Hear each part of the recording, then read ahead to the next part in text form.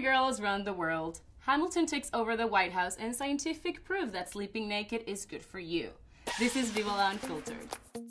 Guys, this is the second time that Women's Running Magazine put a curvy woman on their cover. What a time to be alive, as my grandma would say.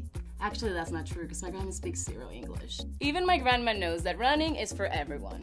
Shout out to Nadia Aboulhosn for showing us that anybody can be a running body. Alexander Hamilton.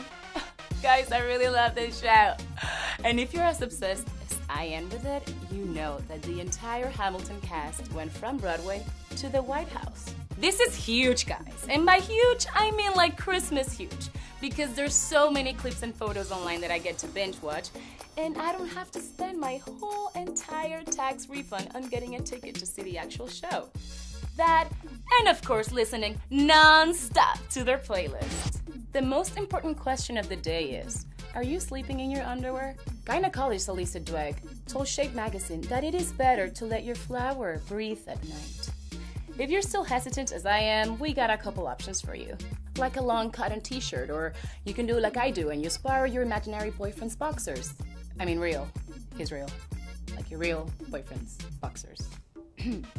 what I wanna know is what do you wear to go to bed at night? Let me know. Leave a comment, like us, share us, subscribe, and follow us at Hey Vivala. I'm Sharon, and I'll see you next week.